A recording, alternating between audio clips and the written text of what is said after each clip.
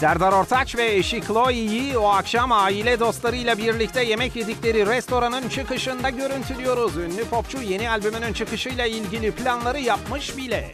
İyi akşamlar sağ olun. Evet evet misafirlerimiz. Yok yok şey bizim Türk arkadaşlar. Peki çok fazla göremiyorsunuz. İyiyiz ev hayatı güzel. Ben albümü bitirdim. O işlerini bitirdi. Bir tane işi kaldı. 11'inde bir fashion show'u var. Ona gidiyor. Defileyi bitiriyor. Ondan sonra ben albümü bitiriyorum. İşte 15'inde falan resimleri çekerim. 20'sinde klibi çekerim. 25'inde de 25 Nisan'da da çıkartırım inşallah. Son dönemde verdiği konserlerin eski konserlerinde sergilediği performanstan çok uzak olduğu yönünde yoğun eleştiriler alan Serdar Ortaç bakalım şimdiki sahne performansını beğeniyor mu? Yo aynı baba.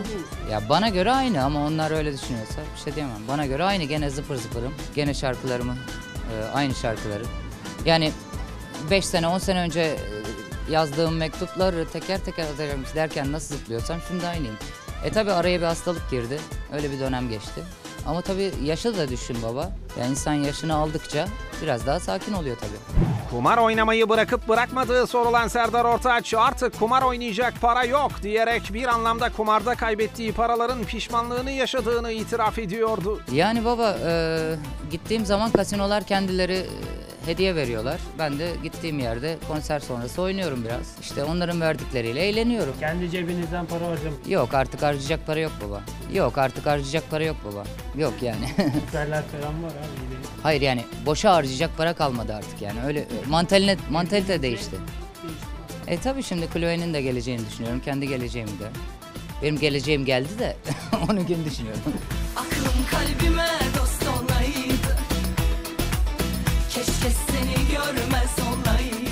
He? Yok hiç vallahi hiç. Hiç harcamaz hiç. Çocuk için Baba çocuk olsun da bütün para onun olsun ya.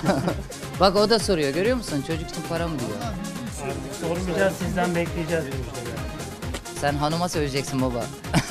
Daha var diyor. Sohbetin ardından çift araçlarına doğru ilerlerken Serdar Ortaç'ın evdeki hesap kitap işlerini tamamen eşine devrettiğini anlıyoruz. Nasıl mı? Üzerinde valeye verecek parası bile yok da ondan. Ee,